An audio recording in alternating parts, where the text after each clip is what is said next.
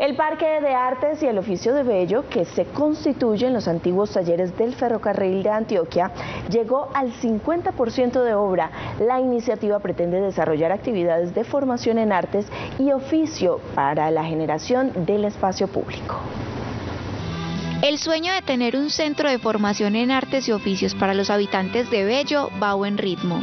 Recibimos la visita del director del área metropolitana, el doctor Juan David Palacios. Hicimos un recorrido para mirar el avance de obra en este gran proyecto del Parque de Artes y Oficios, en los antiguos talleres del ferrocarril de Antioquia, el cual va en un 50% avance de obra con una inversión de 80 mil millones de pesos. El parque además tendrá un teatro con capacidad para 800 personas y será el epicentro de espectáculos culturales y sociales, no solo para el municipio, sino de toda el área metropolitana. La escuela de música que nos representa a nivel local, departamental, nacional e internacional. También tendrá un nuevo espacio público para el esparcimiento de las familias bellanitas.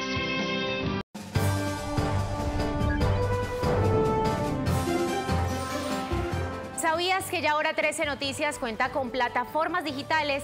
Escríbenos para que conozcas todas las opciones de pauta que tenemos para que puedas anunciar tu producto o servicio.